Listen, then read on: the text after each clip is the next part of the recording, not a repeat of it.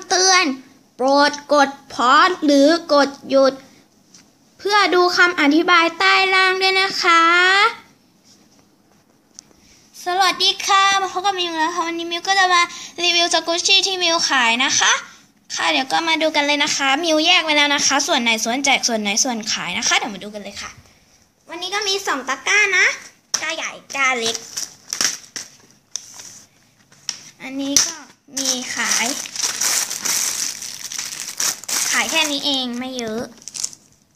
ขายแค่นี้นะไม่เยอะ ไอติมบลูเบอรี่ ช็อกโกแลตเพิ่งซื้อมาเมื่อวานมะนาวเพิ่งซื้อมาเมื่อวานสีโอมาตี้เรืองแสงราคาแพงหน่อยแต่ ได้เท่านี้นะ เรืองแสง เรื่องแสงราคาจะแพง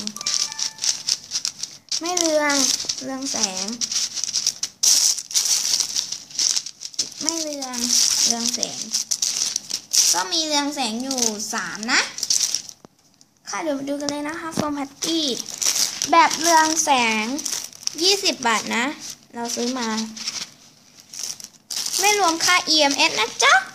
แต่ถ้าเกิดเป็นรอทบ5 บาทนะ แต่ EMS EMS 15 บาทนะ เราคิด เดี๋ยวเราจะลิงก์ไว้ให้ด้านล่างเลย ตามที่บอกให้กดพอดนะจ๊ะ สีธรรมดาอ่าวันนี้เรืองแสงด้วย มีเรืองแสงสี่สีนี่หว่าอะสีธรรมดา มีสองอันนะคะ ไม่เรืองแสง ราคา 10 บาทค่ะไม่รวมค่ารทปและ EMS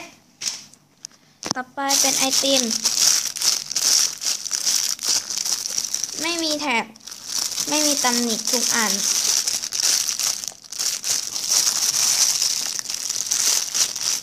มีสามสี